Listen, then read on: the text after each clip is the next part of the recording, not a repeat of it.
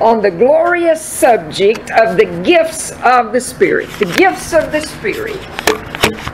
And tonight we're going to cover the gift of divers kinds of tongues. In the Word of God, in 1 Corinthians chapter 12, verses 8 through 10, 1 Corinthians chapter 12, verses 8 through 10, the Word of God says, For to one is given by the Spirit the word of wisdom, to another the word of knowledge by the same Spirit, to another faith by the same Spirit, to another the gifts of healings. We've learned that's plural. Both gifts and healings is plural in the original Greek language. Amen. Verse 10, to another the working of miracles, to another prophecy, to another discerning of spirits, to another divers kinds of tongues, to another the interpretation of tongues. Well, in our study of the nine gifts of the Spirit mentioned here in this passage, we've covered the three gifts that reveal something, also called the revelation gifts. That's the word of knowledge, word of wisdom, and discerning of spirits. And we've covered the three gifts that do something, also called the power gifts. The gift of faith, gift of working of miracles, and gifts of healings. And now we're covering the three gifts that say something. The gift of prophecy, divers kinds of tongues, and interpretation of tongues.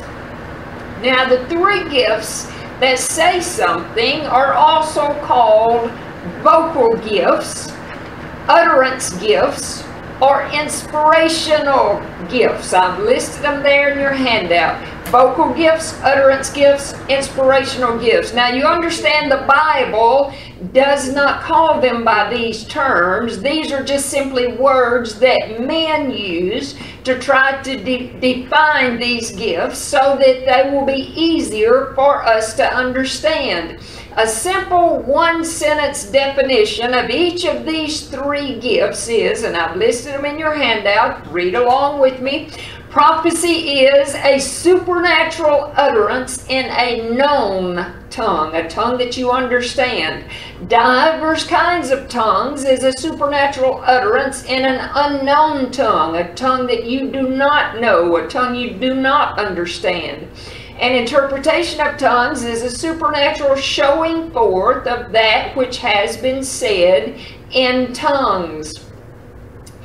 Now, in the Word of God, in 1 Corinthians chapter 12, verse 1, Paul, writing to the church at Corinth, says, Now concerning spiritual gifts, brethren, I would not have you ignorant. Paul said to the church at Corinth, I don't want you to be ignorant about what? Spiritual gifts. Paul was writing under the inspiration, under the unction, under, under the anointing of the Holy Spirit of God.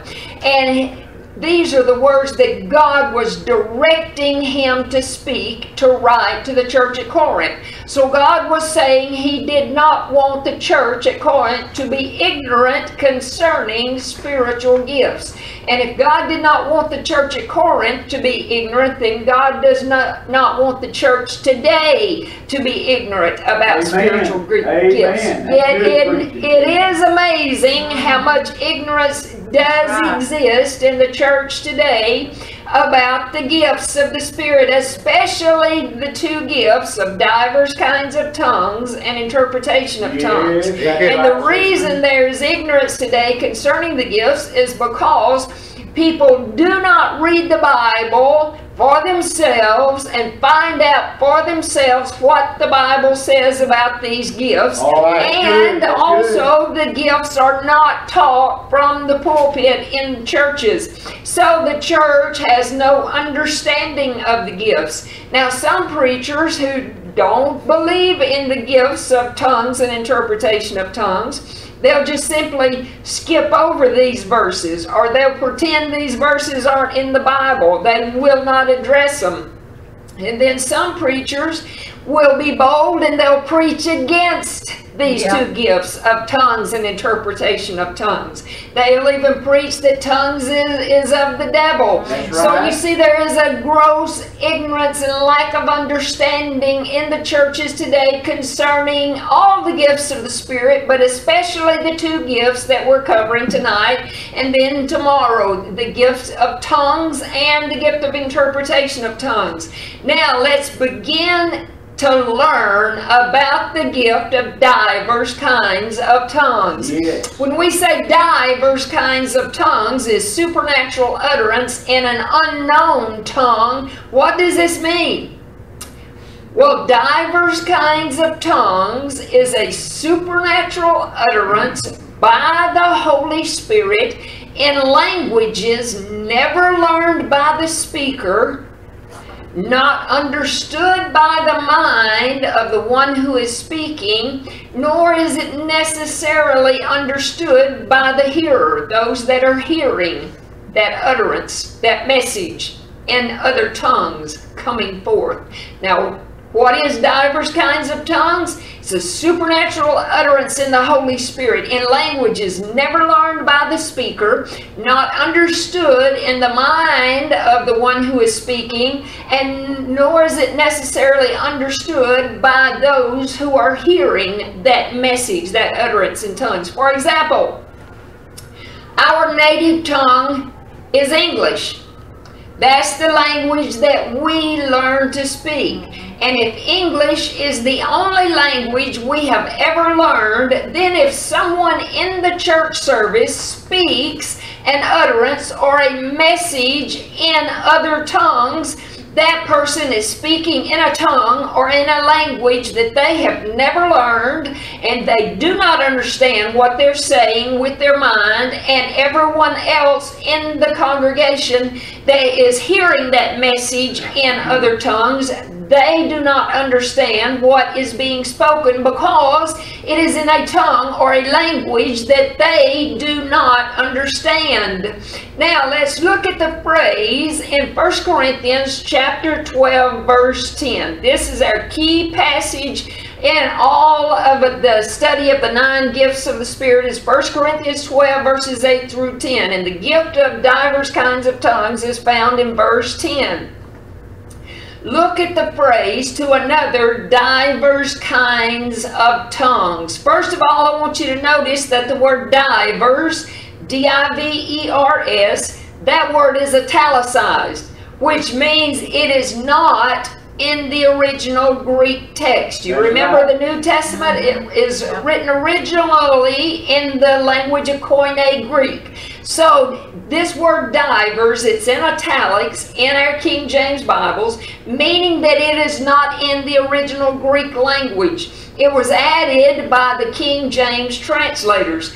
This verse actually reads straight from the Greek to another kinds of tongues. And if you look up the word divers, if you try to look that word up, D I V E R S, if you try to look it up in a Strong's Concordance, instead of having a number by the word divers in 1 Corinthians 12 10, there's simply a blank in the Strong's Concordance. Why? Because you cannot look up the meaning of the word divers in the Greek because it's not in the original Greek text. So why would the King James translators add it here? I don't know why. Unless they wanted to make an already controversial passage of Scripture even more controversial. Let's go to the Word of God. Let's see what Paul himself called the gift of tongues in 1 Corinthians chapter 12, verse 28.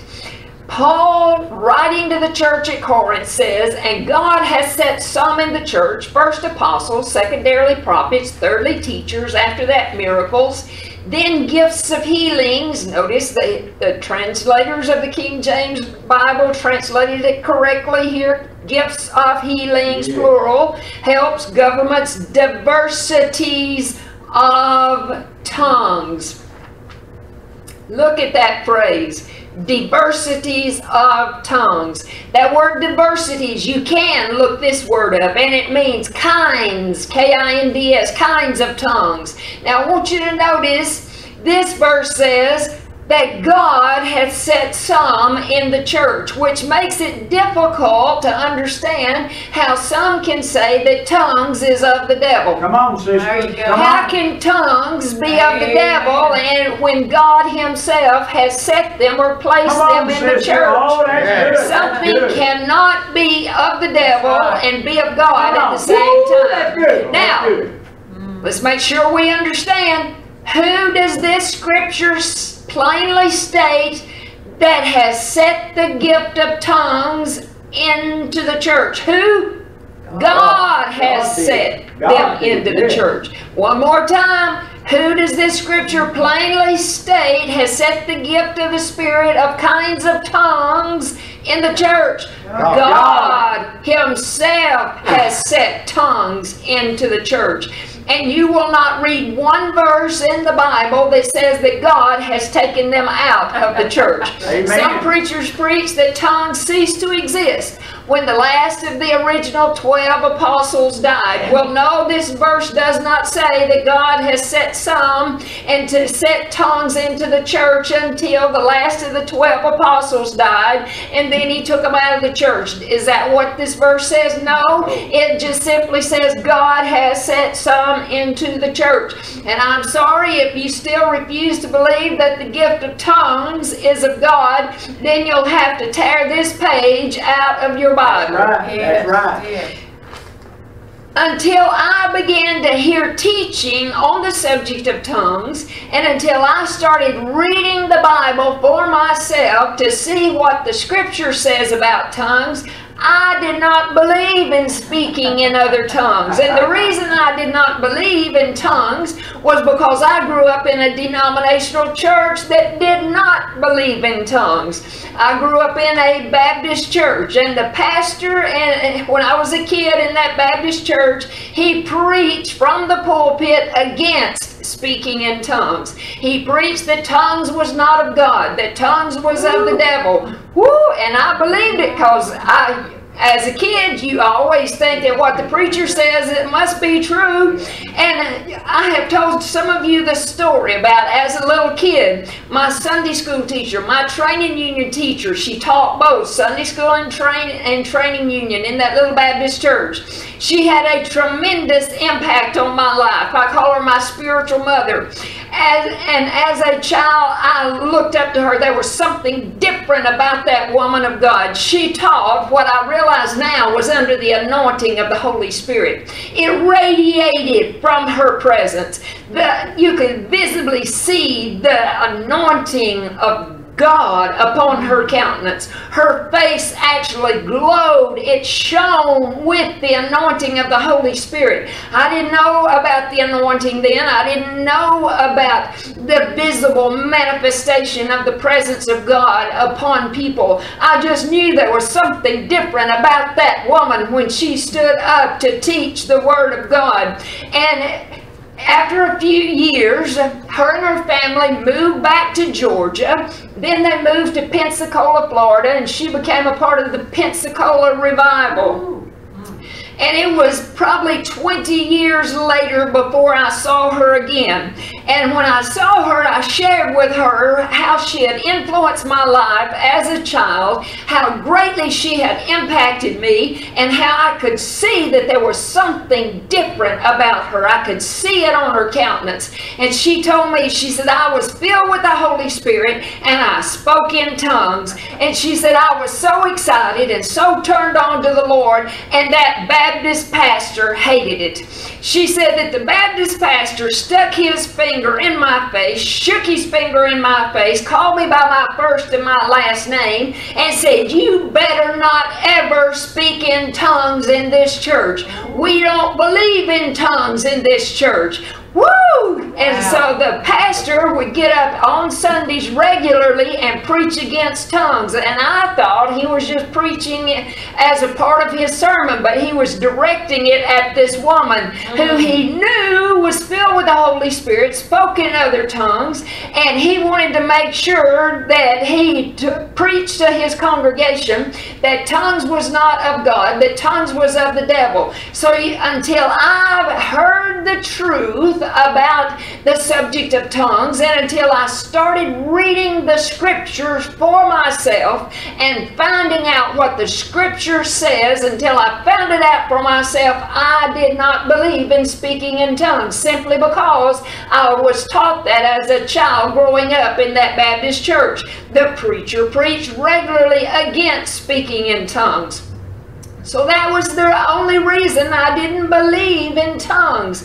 And also as a teenager, after Sunday service, we would be home around the kitchen table eating lunch, and mom would always have the radio on on WVSM 1500 on your dial, and all of the preachers on, on Sunday afternoon would have a 30 minute radio broadcast. And there was one minister who had a radio broadcast every Sunday at the same time. And during this minister's sermon, both the minister and everybody in that room, in that in that radio station, would begin to speak in other tongues during that radio broadcast. And I would turn to my mother and I would say, Mother, why do you listen to that? You know that tongues are not of God. You know that tongues are not for us today. The Baptist preacher preaches that they aren't. And mother would always get on to me and she'd always say to me, You must be careful about speaking against anything that is taking place in a service if it is of the Holy Spirit.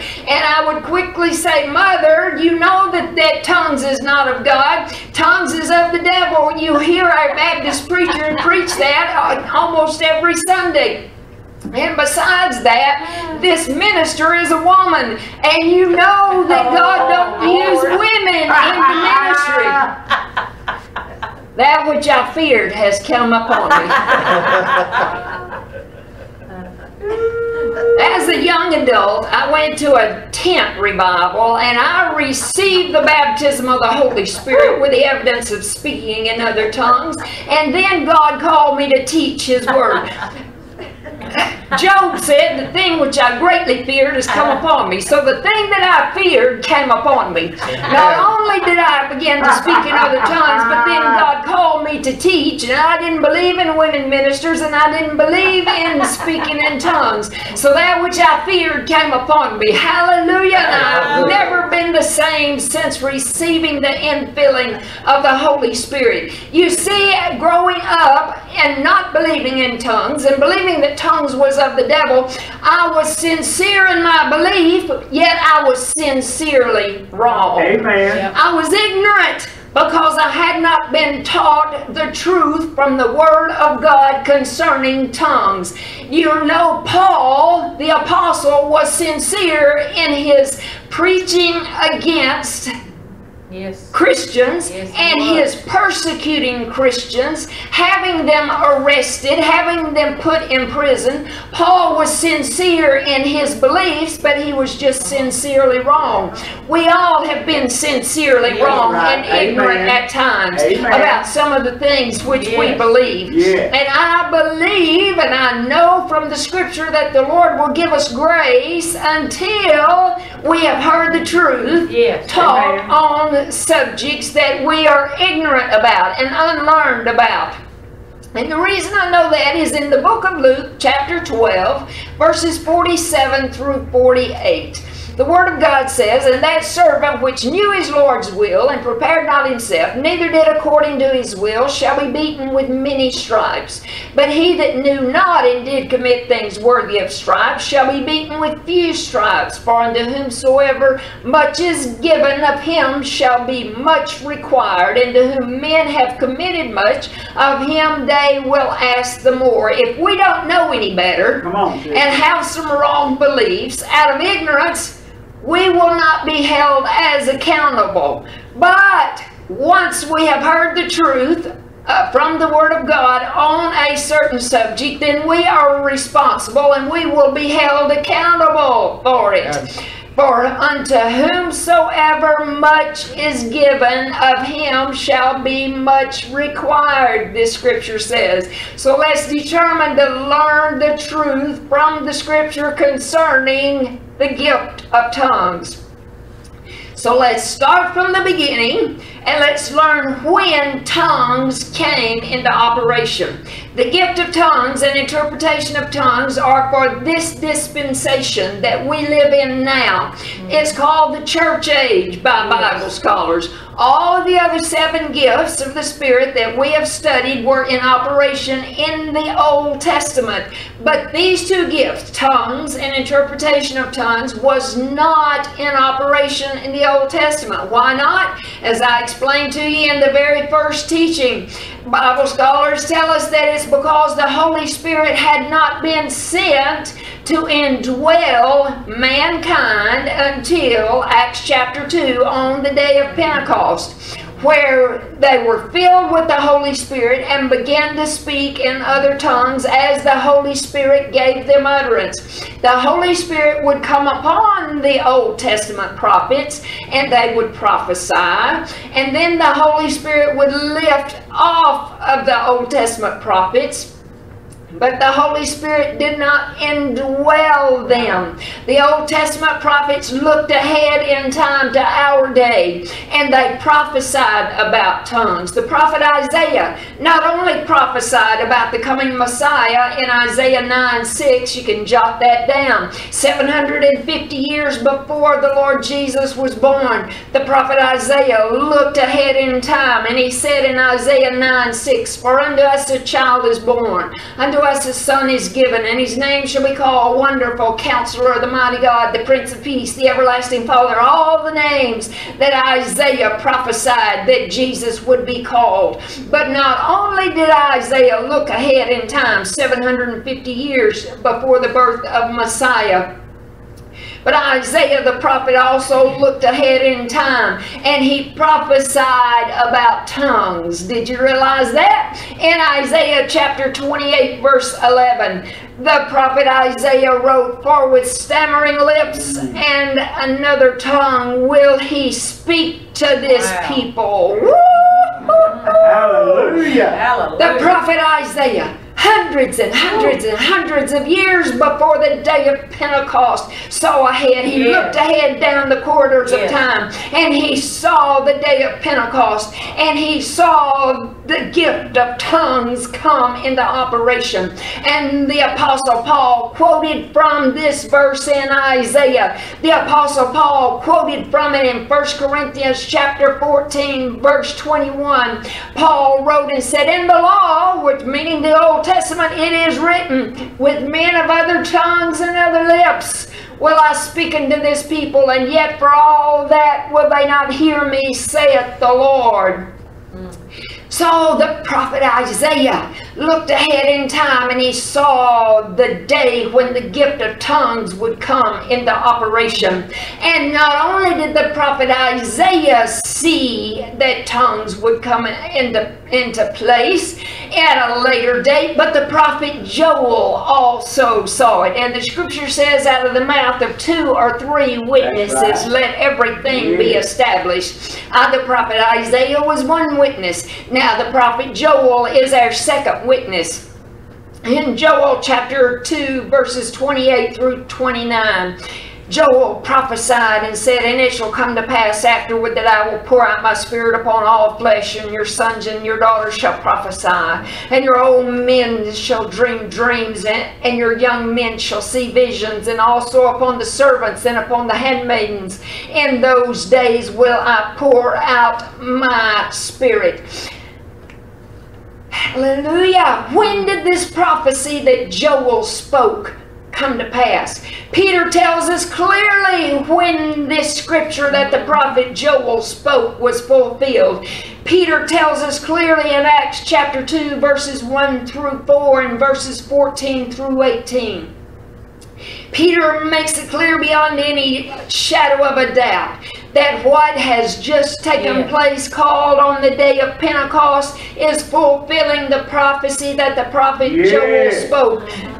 Acts chapter 2, beginning in verse 1. And when the, the day of Pentecost were fully come, they were all with one accord in one place. And suddenly there came a sound from heaven, as of a rushing mighty wind, and it filled all the house where they were sitting. And there appeared unto them cloven tongues like as a fire, and it sat upon each of them. And they were all filled with the Holy Ghost, and began to speak with other tongues. They began to do what? Speak with other tongues. How did they do it? As the Spirit gave them utterance. Verse 14.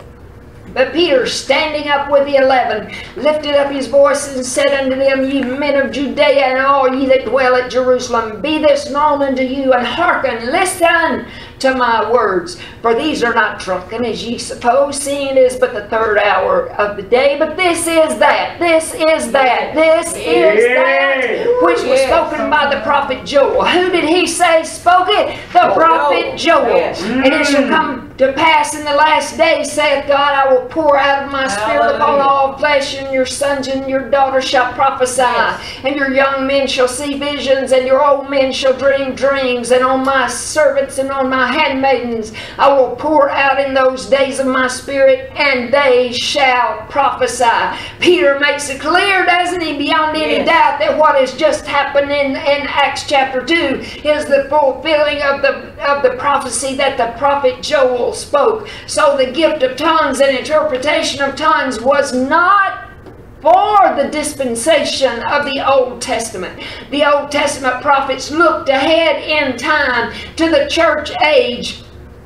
Peter said, This is that This is which that, was spoken yeah. by the prophet Woo. Joel. Look at it, Acts chapter 2, verse 4. What happened on the day of Pentecost? They were all filled. They were all filled Yeah. with the Holy Ghost. They began to speak with other tongues as the Spirit gave them utterance. And Pete said, Hey, this is that which was prophesied by the prophet Joel.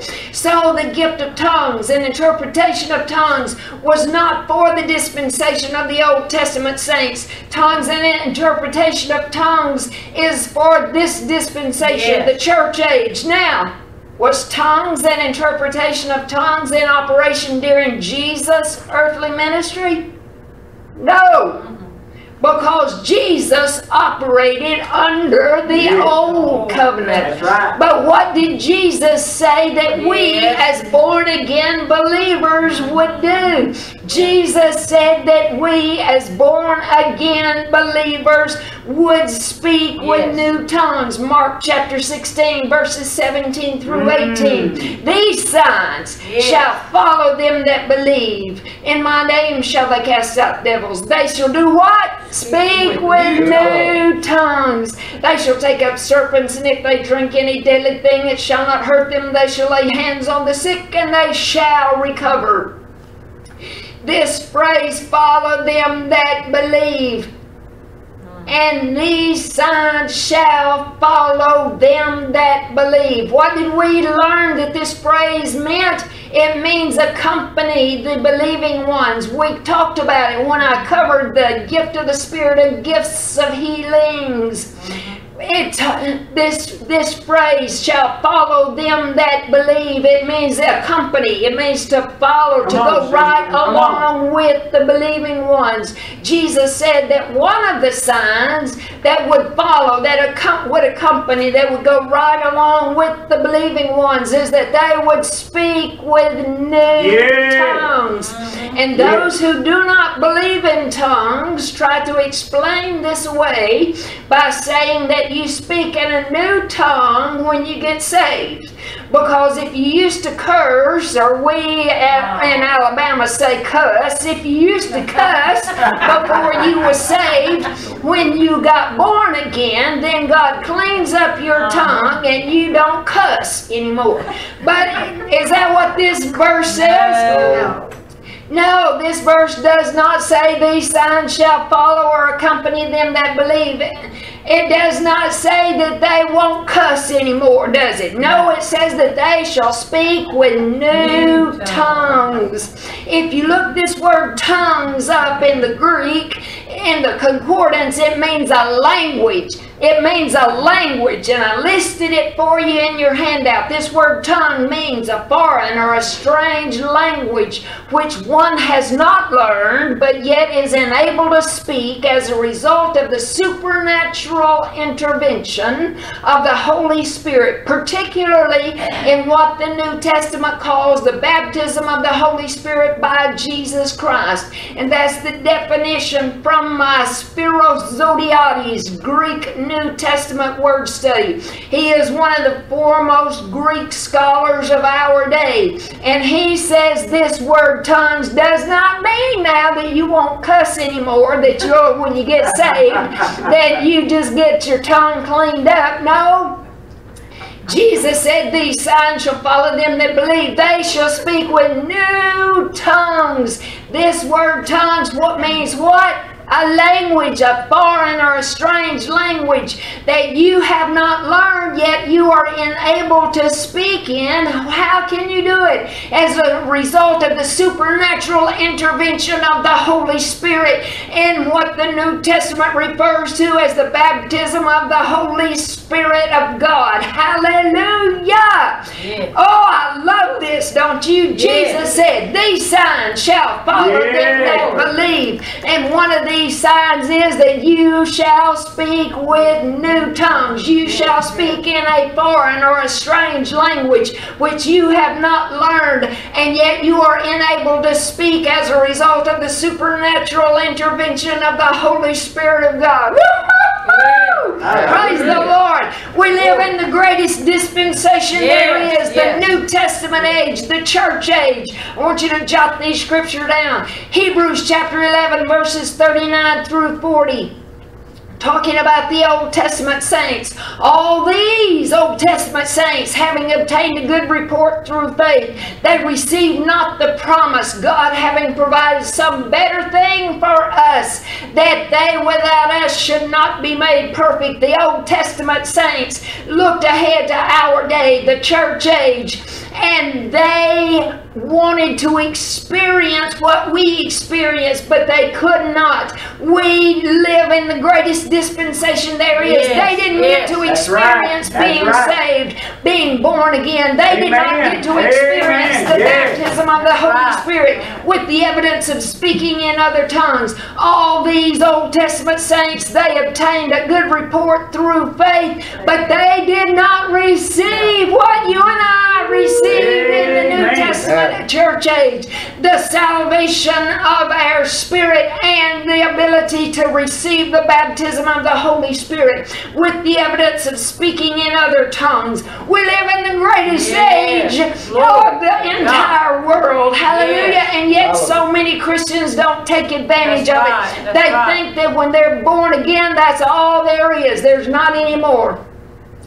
But in Acts chapter 2, they experienced more. They yes. experienced the baptism of the Holy Spirit. They all spoke with other tongues as the Spirit gave them utterance. So not only did the Old Testament saints look ahead to our day and wanted to, experience salvation and the baptism of the Holy Spirit, but uh, the, the angels of the Lord desire to experience what you and I yes, can experience. That's right. Jot right. the scripture down. 1 Peter chapter 1 verses 9 through 12. You need to go back and read both of these passages. I, we don't have time to cover them tonight. I, if I get started on them, I would spend the entire time on these two passages and then we wouldn't get our lesson covered on the gift of the Spirit of tongues.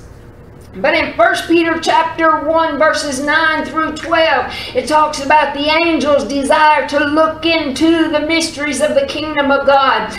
What you and I experience as salvation and, and the infilling of the Holy Spirit. The, the angels desire to look into what we experience. If you look that phrase up, look into that that word in the Greek is parakupto, parakupto, and it means the angels bend down. It means they stoop over. It means they lean over as to peer within they look they desire to look into it's the same greek word uh, with the apostles peter and john when they went to the tomb of jesus and found it empty oh, they leaned now. over they peered into and right. mary she peered into she leaned yeah. into that empty tomb desiring to see what was inside yeah. and found that it was empty that Woo. same greek word look oh, into the angels desire to look into salvation and the baptism of the Holy Spirit.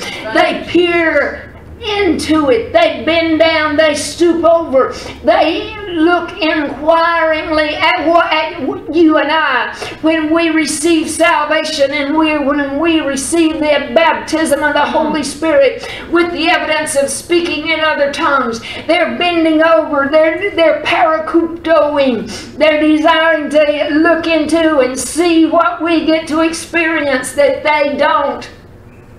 I can just picture Michael turning to Gabriel and saying, Michael, do you hear those New Testament saints? They're speaking in other tongues. And he says, No, I, am seeing it, but I'm not I'm not comprehending it. Wow, they are getting to experience yeah. something that we angels only desire to look into, but we'll never experience because we can only speak in the language that God yeah. Himself yeah. had, gave us when He created us. But those New Testament wow. saints, they get to experience something that you and I, as the angels of God and as the Old Testament saints, never got to experience. That is salvation and the baptism of the Holy Spirit with yes, the evidence yes, of yes. speaking in other tongues. Glory to God. Now, if I don't get back on our subject, we won't finish it. Our subject of kinds of tongues. First Corinthians chapter 12, verse 28. We read it a few minutes ago. Let's read it one more time. And God has set some in the church. Who? God. God has is tongues of the devil? No. No. Who put tongues in the church? God. God. And God has set some in the church. First apostles, secondarily prophets, thirdly teachers, after that miracles, then gifts of healings, plural, helps, governments, diversities of tongues. God Himself has set or placed the gift of tongues in the church. Now let's read on, verse 29. Are all apostles, are all prophets, are all teachers, are all workers of miracles, have all the gifts of healing? Now it should have been translated healing is plural, so make that note. Mm-hmm. Do all speak with tongues? Do all interpret? Paul is talking about here the gift of the Spirit of divers, which we know divers is not in the original Greek. It is kinds of tongues that we are studying about tonight. The gift of the Spirit of kinds of tongues. Paul is talking about the public ministry of the gift of the Spirit of tongues in operation in a church service.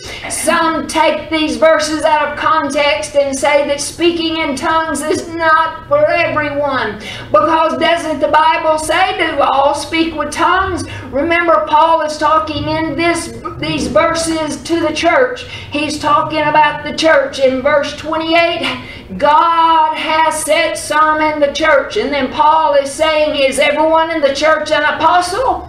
Is everyone in the church a prophet? The answer, of course, is no.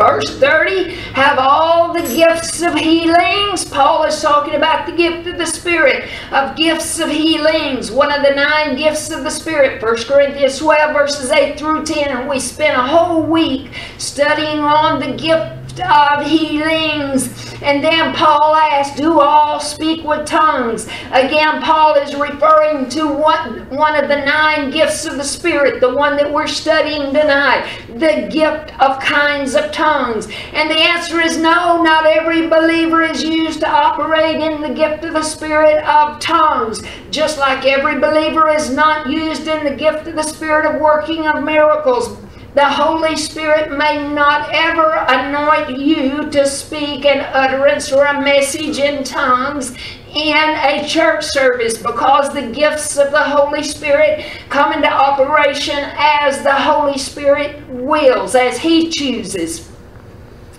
But we can operate in all nine of the gifts because the scripture says that we're to desire spiritual gifts. We are to want to operate in the gifts. And if we don't desire to operate in the gifts, you can rest assured that the anointing of the Holy Spirit is not going to come upon us to operate in the gifts. We are to desire to operate in the gifts.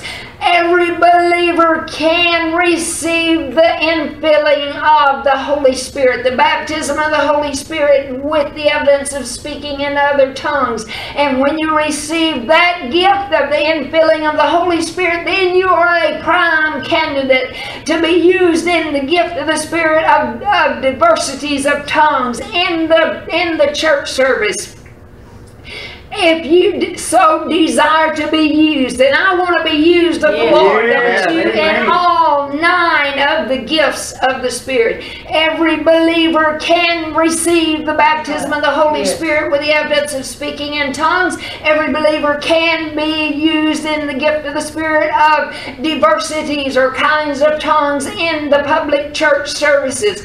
Paul said in 1 Corinthians chapter 14, verse 18, Paul said, I thank my God I speak with tongues mm. more than ye all. Paul said, I speak in tongues more than all of you do. He's talking about his own personal prayer language of tongues his own personal time of being alone with God and praying to God by himself. He's talking about the infilling, the baptism of the Holy Spirit with the evidence of speaking in tongues. Paul said, I thank my God I speak with tongues more than you all. Verse 19, yet in the church I had rather speak five words with my understanding that my by my voice I might teach others also than ten thousand words in an unknown tongue.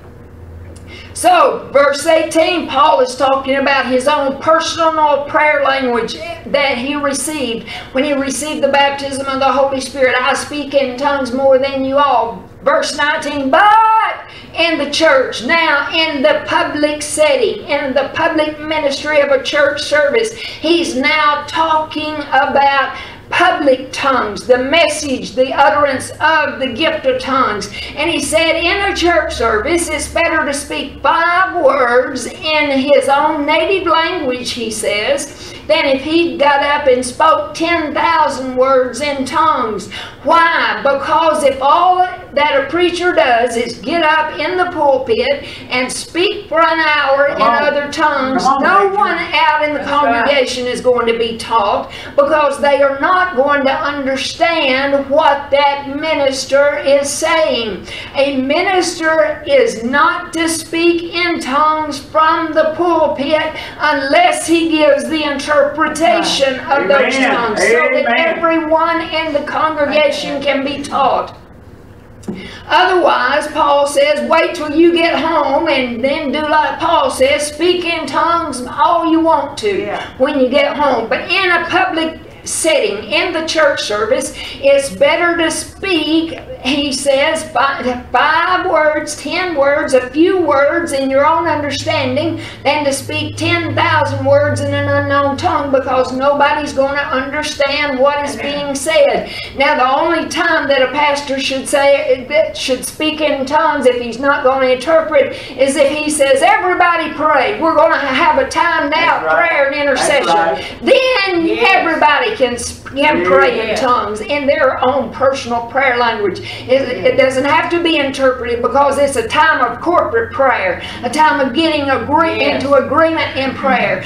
But otherwise, if a minister is up in the pulpit, they are not to speak in, in an utterance in other tongues unless they give the interpretation so that everyone in the congregation can be taught and can understand what that pastor or that servant behind that pulpit has spoken in tongues.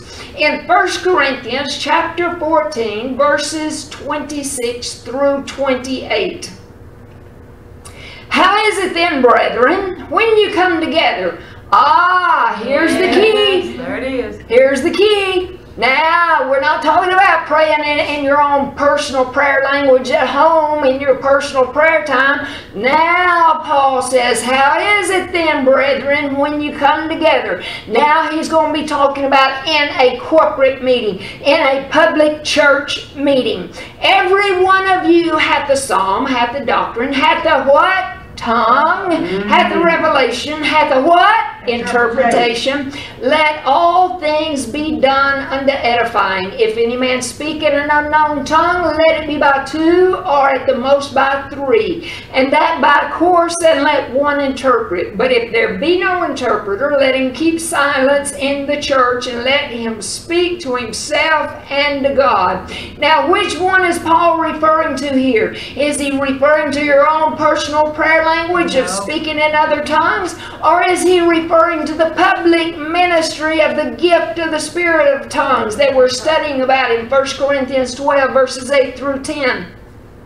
Which one did I say he was referring to? Verse 26 says, How is it then, brethren, when ye are come together? Every one of you has a what tongue? So he's talking about in the public church service, and out in the church meeting. He said in verse 27, if any man speak in an unknown tongue, what's he talking about? In a church service, a public meeting. Paul is talking about the public ministry of the gift of the Spirit of diversities or different kinds of tongues. Paul is saying when you come together in a church service, every one of you may say something. Somebody may have a psalm. What did we learn last week that a psalm was? It's a spiritual poem or an ode. It may or may not rhyme, but it'll have an element of poetry about it. Paul said, when you come together in a public church setting, every one of you, somebody may have a psalm, Somebody may have a doctrine. That word doctrine means a teaching. Somebody may have a revelation. Somebody may have a tongue. But if you're going to give a message publicly in other tongues in a church service, then he says that there should be only two or three of you speak, and that by course, or one at a time. And when one speaks in tongues in the public church setting, there should be someone there to speak forth the interpretation That's right. That's right. of that message, that utterance that was given in other tongues. Why is Paul saying that only two or three should speak a message in tongues in a church service? So you won't spend the entire church service right. speaking in tongues, interpreting tongues, and not have any teaching from the Word of God. Amen. Faith does not come by speaking in tongues, right. by interpretation right. of tongues. Faith comes by hearing and hearing and hearing the Word of God. And in verse 28, if there be no interpreter, if no one is in that church congregation who is used in the gift of the Spirit of interpretation of tongues, which we'll study tomorrow, then Paul says, while you're in that church service, do not, do not, do not speak forth that message or that utterance in tongues. If there's no one in that church congregation who operates in the gift of the Spirit of interpretation of tongues, but let him speak to himself and to God. Meaning, keep your mouth closed. That's Don't right. interrupt the church service with an utterance in tongues if there's no one there that operates in the gift of interpretation of tongues. Wait until you get home and then speak in tongues all you want to. Speak to yourself and to God at home in your own personal prayer language. Now, can you see the difference? Paul now is talking about your own personal prayer language that you receive when you receive the baptism of the Holy Spirit, that you can speak and pray in anytime you choose to. Do you see the difference? Paul is addressing both the public setting of the gift of the Spirit of speaking in an unknown tongue. And then he says, if there's no one there that operates in the gift of the Spirit of interpretation of tongues, then let that one who has that utterance just keep it to himself. Don't speak it out, but wait until you get home and then you pray in tongues. You speak in tongues all you want to, because when you speak in other tongues, what are you doing? You're not speaking to other people, you're speaking directly to God. Yeah. Now, look at 1 Corinthians 14, verses 39 through 40. Wherefore, brethren, covet That word covet means earnestly desire, covet to prophesy. Forbid not, forbid not, do not forbid someone to speak with tongues. Let all things, how many things? All, all things be done how? Decently and in order. Everything that is said, everything that is done in a public church service is to be done how? Decently and in order. So let someone speak forth operating in the gift of the spirit of prophecy. Don't forbid the speaking of an utterance or a message in other tongues. If there is someone there that, that operates in the gift of the spirit of interpretation of tongues, everyone can speak, Paul says, but let it be done decently and in order. Let someone speak a message in other tongues by the operation of the gift of the Spirit of diversities or divers or different kinds of tongues. And then let someone interpret that utterance in other tongues. And he, Paul said that we can all prophesy. Here he's, he's talking about the utterance gifts, the gifts of the Spirit that we're studying of prophecy, divers or diversities or kinds of tongues, and interpretation of tongues. And he goes on to say, let all things be done decently and in order. It would be pandemonium and chaos if every one of us in here got up and started speaking in other tongues as loudly as we could, and an unbeliever walk in the door, they're going to think these people are nuts and they're going to turn around and run. We, that is not to be done. Paul said, let, let the prophet speak. Let someone have a message in a psalm or a revelation or a doctrine or a tongue or an interpretation. Let everything be done decently and in order. Let everyone speak. Let them speak two or at most by three.